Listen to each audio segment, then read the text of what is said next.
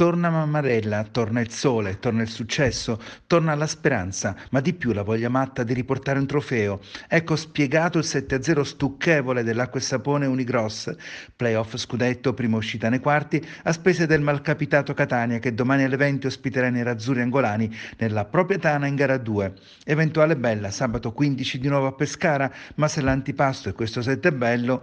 a proposito per la cronaca le firme, doppietta di Ghi e Dudu in più più il solito Luca Ian, ma anche Rafinha e Capitan Murillo.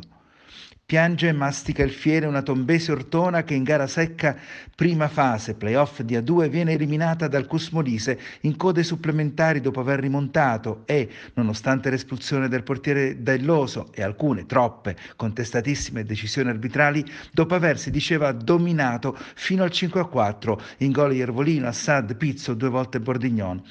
Esce di scena con applausi pure in gara secca una Real Dem che nei playoff di B cade sul campo del Forte Itria con un 8 a 4 e si era in vantaggio che nulla toglie al pazzesco recupero stagionale dei Montesilvanesi e che salta ancora una volta l'infinito Junior, autore di una doppietta con uno scavino perla da campione. Con lui in rete pure l'altro fuoriclasse immarcescibile Schurz e il giovane Dominioni. In campo femminile, infine, il Montesilvano ha avuto vita relativamente facile in gara 1 dei quarti contro Città di Capena, doppietta di Amparo in apertura a Rotonda Lusileia nella ripresa, ma tante le occasioni sfumate il 3-1 sta stretto, conta il successo da replicare giovedì in gara 2, con eventuale bella da scongiurare domenica 16.